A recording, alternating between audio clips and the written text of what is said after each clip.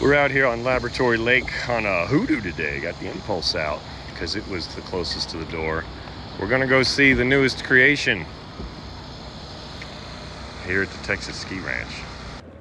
Oh, look at this. This is way more elaborate than I thought it was gonna be. This is wild. So this is gonna open June 1st. You can come jump in the water, cool off. It's an inflatable water park out here on Laboratory Lake. Look at this. They got everything. I don't even know what these are. They're sitting here spinning around. This is wild. I bet that's a shower. I bet it's gonna squirt people or something. Then you have things to lay out on. Wait, wait, wait. Free fall extreme. It's a slide. Folks are gonna be out here splish splashing around. The goats love it. This is wild. Oh, look at that one. Oh, it's a slide that launches you. Bruh. I'm gonna go off it.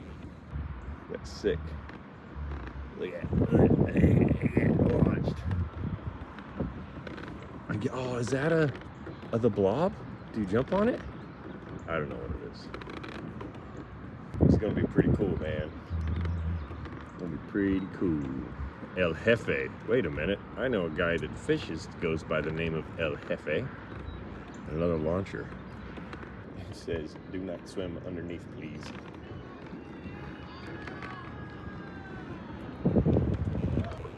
I have no idea. It's called a rocket. I guess it's like a seesaw, a water seesaw.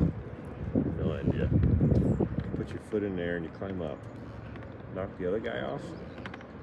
No clue. We're gonna turn it on here real quick. Check this out. Got a sprinkler on top up here that hits it.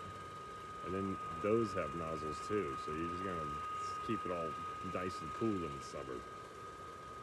So there's a hose that's twisted and they need somebody to dive underneath it. I'm gonna go dive underneath it real quick, see if I can fix it for them.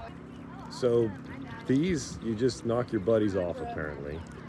We deflated that and I fixed the hose on it, so now that sprinkler's working right. And then I did a backflip off that one, but I didn't film it because I didn't have my phone with me.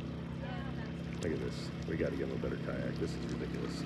Just as I'm leaving, the mascot showed up.